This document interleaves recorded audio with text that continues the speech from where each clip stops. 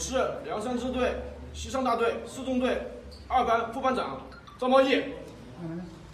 我今天跟大家讲的是我从接近火线到成功避险的过程。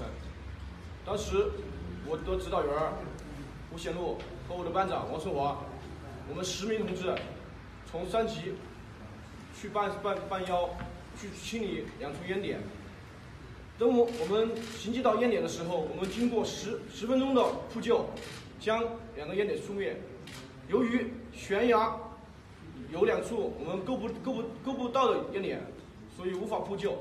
当时我的班长他听到了下面有文竹爆裂的声音，当时他就爬到了一棵非非常高的树往下看，他就说下面已经有烟了，然后随后给我的指导员儿汇报这个情况。我指导员向我的教导员汇报了，说山下已经有火，叫他们往右走，不要往左来。随后我们就指导员叫我们跟随他往右避险。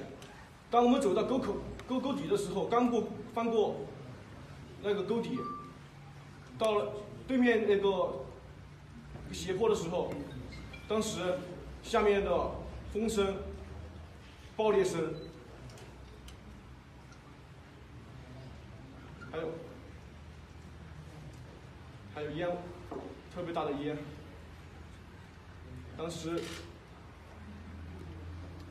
当时，当时火十秒不到，从山山脚冲天就就就到我们的位置。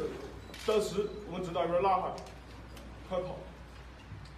我们当时十个人拼命的往前跑，跑能跑到一个三级的时候，一个直径一米的大倒木拦在我们前面。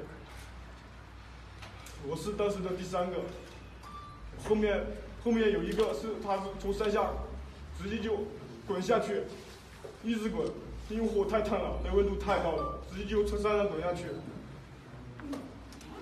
我指导员，我班长是先过那个倒木的，我指导员是先过来，我我班长是先过那个倒木，翻上去之后，我指导员上不去了，因为当时绝望了已经，火太大了。十秒，感觉我经历了一个世纪那么长，我该跑不出去。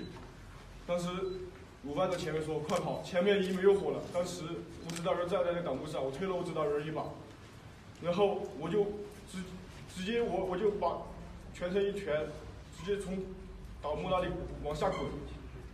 等我滚出边滚出去的时候，我已经在火里。当时我已经感受到那个大火在我脊。在我背上，那个温度，当时我们冲出去之后，往后喊我们后面的战友，已经没有人答应了。当时我最后看一眼我我班那个十八岁的小战士的时候，当时他那个绝望的表情，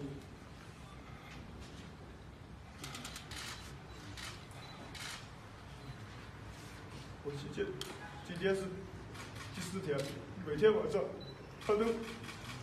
会会在梦里跟我说：“满腹拉我一把，我烧焦的挥着手，四点了。”当时那种绝望感，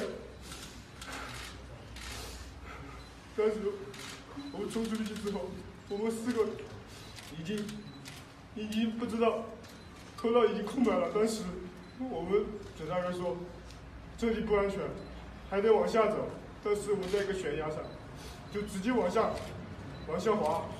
滑到沟底的时候，遇见了我们的梁山支队的另一个大队——布力大队六中队。然后当时他与与他们会合了。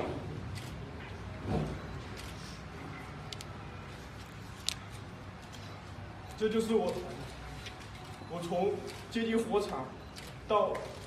那个生死二二十秒的时候的过程，报告完毕。